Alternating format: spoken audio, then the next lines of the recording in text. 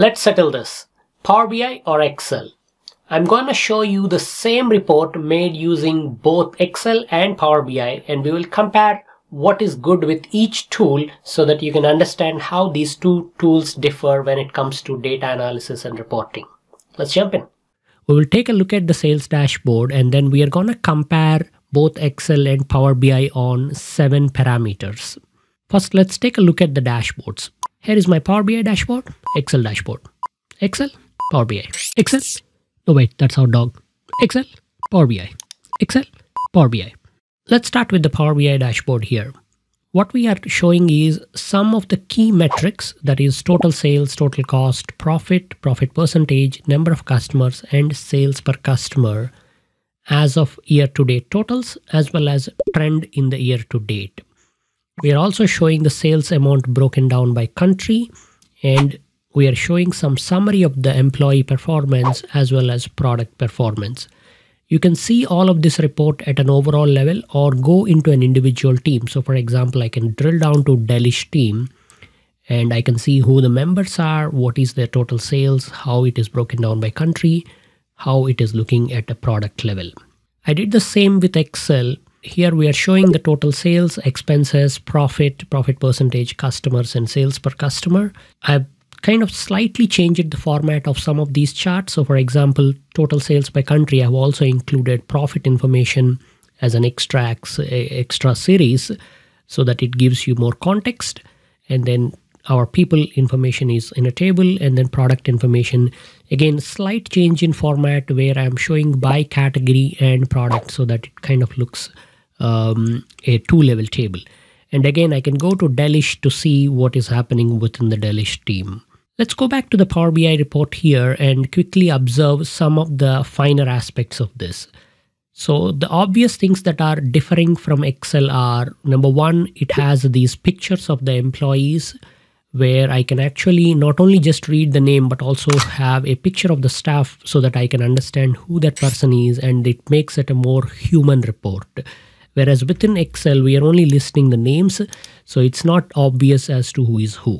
The second thing with Power BI is everything is interactive. So if I'm looking at this report for Delish team and I just want to understand how Delish team did within USA, I can click on this column and it drills down into the USA data for the Delish team. So again, this table is rearranged based on the profit percentages within USA, the totals have also changed now looking at just the USA proportion and all of the product sales have also adjusted.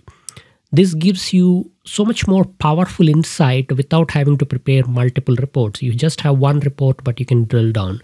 You could do the same with any product also. For example, I can drill down to the raspberry chocolates and then see how that amount is coming 108,000. Whereas within Excel, we are not able to do such a detailed drill down without adding some extra slicers.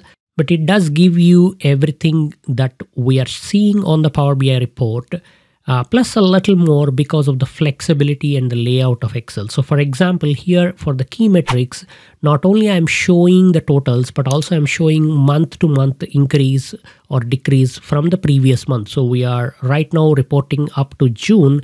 So I'm showing you total sales are 3.3 million for the Delish team and they are down 10% and again, the YTD trends uh, are using the native Excel Spark lines.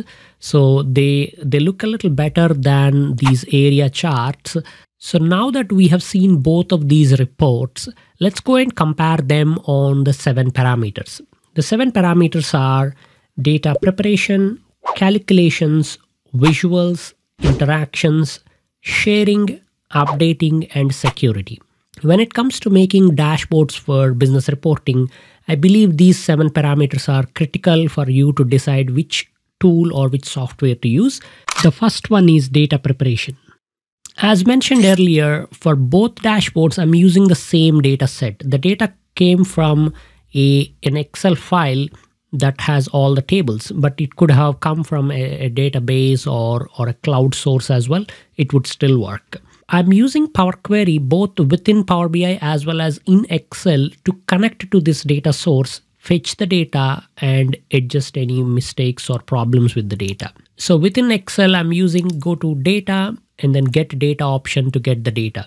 So all of these queries are connected to that Excel file. And if that Excel file changes, so for example, next month we add some new sales information, I can just refresh my query and the dashboard would automatically update. Same with Power BI, it is connected to that Excel file. So if there is new information added in that Excel file, I just refresh my Power BI and it will fetch that data. So with respect to data preparation, I think we can give one point for both Power BI and Excel because they are equally capable of processing the data. The next one is calculations. In order to make this dashboard, there needs to be a lot of numbers calculated like your total sales, total profit, profit percentage, sales per customer, etc. And I'm using the DAX measures, which is part of Power BI to calculate these numbers. So as you could see from here, I have got my measures on profit percentage, profit target, sales per customer, etc. And these measures are very, very simple and easy to create. And once you create them, you can put them against any combination and it will work beautifully. Within Excel also, I am using the Excel's data model and Power Pivot capabilities to calculate things. So here I'm calculating the same total cost, total amount, total profit, profit percentage, and showing those measure values there in the pivot tables. But within Excel, we have a little more flexibility because the calculations directly feed the pivot table I can use pivot table to do some additional calculations on the top of it. So for example, here I'm calculating month on month changes as an outside value in my pivot table and then using this information to enhance my dashboard. We could theoretically do this within Power BI as well, but that requires adding more DAX because there is no other way to add such ad hoc calculations within Power BI. I'm going to give Excel 1.2 simply because it is a little more flexible when it comes to doing the calculations. And Power BI we will give it one point for calculations. The third criteria is visuals. How well can we design these visuals in both Excel and Power BI report? When it comes to Excel visuals, they look very polished. This is simply because Excel charts have such a rich legacy and they have evolved over time so nowadays to format and present charts, it is a really simple task. That said, they lack some of that visual finesse like that pop or wow factor that is obviously present in the Power BI visual. So for example, I could enhance my visual with some pictures, make it more colorful and interactive. Despite all the visual flair that is in Power BI, I find that working with visuals within Power BI is really tricky and hard the Power BI visuals have not quite evolved and they customizing or working with them can be a little bit tricky from time to time. For that reason, let's give Power BI 1 point and Excel visuals 1.2. The next aspect is interactions. Power BI is interactive all over the interface. So I can click on anything and it will automatically drill down or filter the data to show me what is happening with respect to that salesperson or country. Whereas our Excel dashboard is not that interactive. We could only pick a team and then the entire report will change for that team. As I mentioned early on, we could add a few more slicers to filter by salesperson or product category or country, but that would clutter up our dashboard and they, there will be less space to show the actual information. For this reason, I'm going to give Power BI 1 point for interaction and Excel 0.75. The next aspect is sharing. Once you create this Power BI dashboard, you can share it in a few different ways. You could email this file to your colleagues so that they can read this report. Alternatively, you can publish this report and then send them a link to the report. So here I have published it on the web so anybody going to this particular web page can read my report without having access to my original data. This report is still interactive, so they can go into an individual country like India or an individual employee to understand what's happening with them, how those combinations work. As far as our Excel dashboard is concerned, you can only share this by emailing the files, but they will also have access to your pivot tables and maybe underlying data as well. If you have Excel Online or OneDrive or some other solution like SharePoint, you can theoretically publish this dashboard on the web so they can go to a web page and read it. But not everything that you create here can be seen or used equally well on the web Excel. This is simply because web Excel is usually a few steps behind the traditional desktop Excel. As far as sharing is concerned, you need to keep in mind some of the costs as well. If you want to share your Excel file with a colleague or a client, uh, you can just email the file to them and in all likelihood they already have excel installed. So they will be able to right away read the information that you have presented to them. On the other hand when you share the files with clients through power bi in order for them to read it on the web or on the power bi apps you will either have to go with a paid program within Power BI. So it, the cost is a little bit more with Power BI. But as you could clearly see, both platforms have their own ups and downs when it comes to sharing. But I find that sharing within Power BI is slightly better because of the way it is set up. So I'm going to give Power BI 1 for sharing and Excel 0.75 for sharing. The next aspect is updating this dashboard. Updating the dashboard in either Excel or Power BI is a simple matter of changing your original data and clicking the refresh buttons. Within Excel, I can go to my data tab and refresh and that will go and fetch the new data and update it here.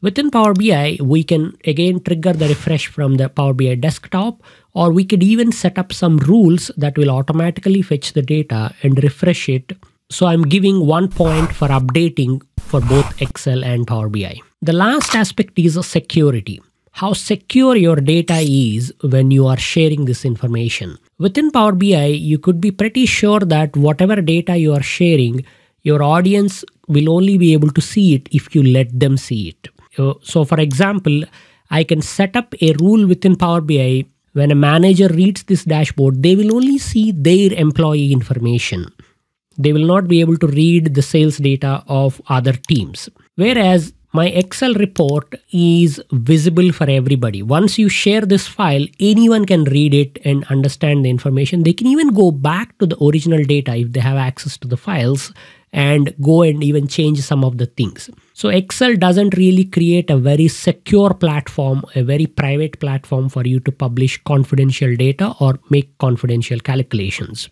For that reason, I'm going to give 1 point for security with Power BI and 0.5 for Excel. So there you go. The total scores are 7 for Power BI and 6.4 for Excel. So what is the conclusion?